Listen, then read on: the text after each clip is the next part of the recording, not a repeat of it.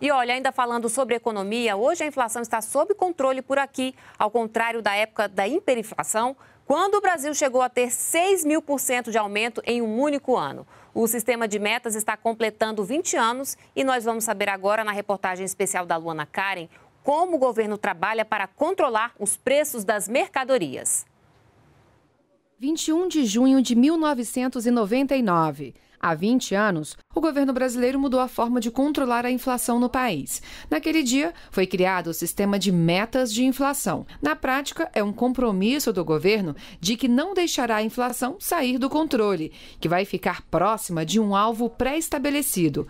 E essa meta varia de ano para ano e é anunciada publicamente. Tem que ser uma meta que garanta que a gente, que o país tenha uma inflação baixa. O principal instrumento do Banco Central para controlar a inflação é a taxa Selic, também conhecida como taxa básica de juros da economia. Funciona assim: quando a taxa Selic sobe, o custo que os bancos têm para pegar dinheiro no mercado também fica mais alto. Logo, as instituições financeiras passam a emprestar dinheiro para a população com juros maiores. Quando a taxa Selic diminui, acontece o processo inverso e o empréstimo fica com juros mais baratos. Além dos empréstimos, essa dinâmica funciona para financiamentos como o da casa própria e para cartões de crédito. E o que isso tem a ver com a inflação?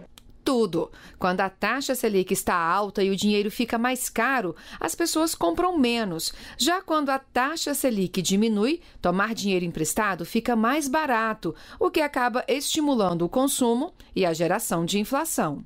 Quando a inflação está fora de controle, como no passado, há uma perda no poder de compra da população. O que se levava por um valor num dia, no outro já estava mais caro.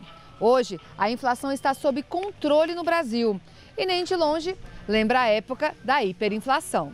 No Brasil, entre 1993 e 1994, a inflação marcou quase 5 mil por cento. Ou seja, quem comprou um produto por mil cruzeiros, a moeda da época, teve de pagar 49 mil cruzeiros pelo mesmo produto um ano depois. Voltando aos dias atuais, no acumulado de junho de 2018 a maio de 2019, a inflação ficou em 4,66%, o que significa que o que se comprou em junho do ano passado com 100 reais, em maio deste ano foi preciso pagar mais R$ 4,66 para levar para casa. Um presidente do, do, Banco Central ele tem, ele trabalha em cima do fio da navalha, né? Ele quer estimular o crescimento da economia, liberando crédito, reduzindo juros, né?